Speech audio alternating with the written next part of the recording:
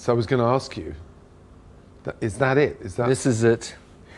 This is the first guitar that I ever um, recorded with. Um, the first guitar I bought with the idea that I might actually play with the band on stage in front of a live audience.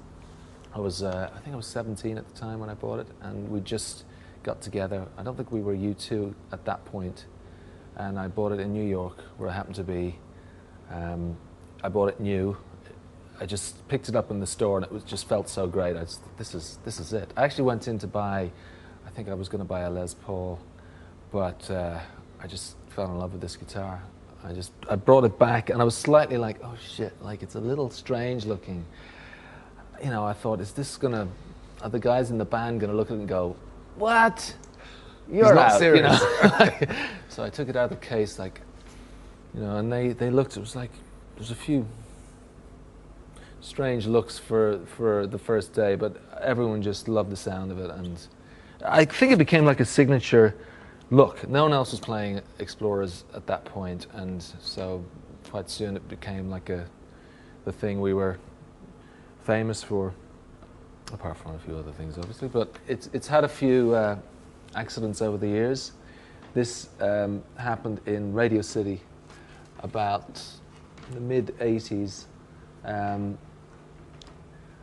we were playing a show, and the, the bouncers were particularly heavy in the venue, and uh, there was some kids down the front getting pummeled. So I actually threw the guitar off, sort of to intervene, and uh, stopped it. And uh, Bono stopped the show, and we got it sorted out. But I came back, picked the guitar up, and the head was hanging off. It was totally broken.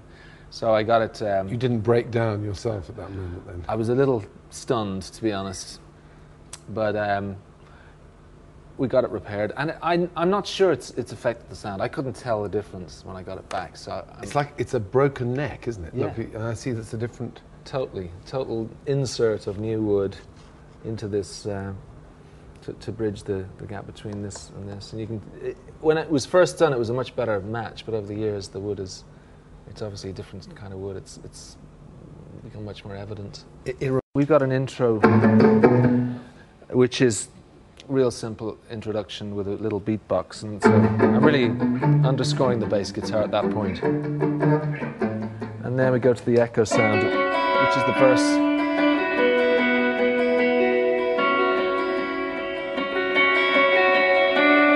Against against the chords of the song, it really creates a very beautiful little hook. And then uh, the big the, the big kind of chorus sound is the chords, obviously. And um, this was an interesting part. It caused a bit of uh, a stir in the studio when I first played it. I'll try and play it a bit more quietly.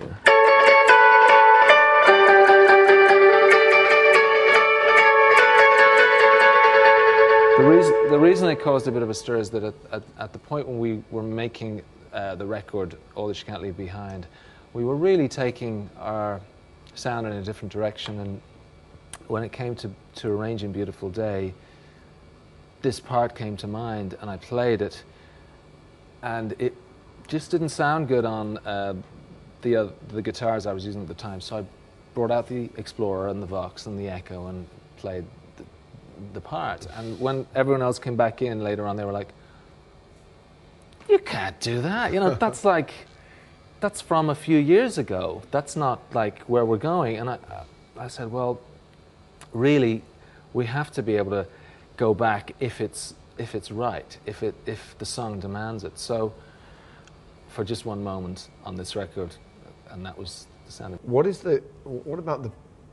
Coming back to the guitar, the basic personality of the guitarist. Do you think there is a, you know, there is a lead singer personality and there's a lead guitar personality? I mean, do you, do you is that all just cliche think, or is there no, I think there there probably is, but I don't think it's one. I think there's for guitar players. There's a couple of different types. You know. Um, I think there are the sort of the gunslinger guitarists whose it's sort of the the, the fastest uh, draw in the West mentality, um, and then there's the sidemen, you know, who who are really about uh, supporting the, the singer and playing the songs and trying to, you know, make the whole thing mesh together. And I really think of myself more as that sideman kind of guitar player. I think Keith in that same Keith Richards in that same mold. And I have to say my favorite guitar players are that type.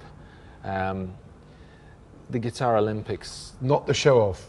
well, not, not the ones who aren't part of the band. Not the Yeah. ones who are going off You for know, the solo. Pete is the sideman, even though he's the front man in, in a lot of people's book. You know, he's playing the songs. He's, he's a, he, it's all about getting the, you know, the song across, supporting the singer. That's, that's what I think. Johnny Marr was the same. You know, like, it's about, it's about the entire. It's not about just you know shining in the spotlight as, as being a, an incredibly talented virtuoso guitar player. I mean, that's kind of that's not that interesting in the end.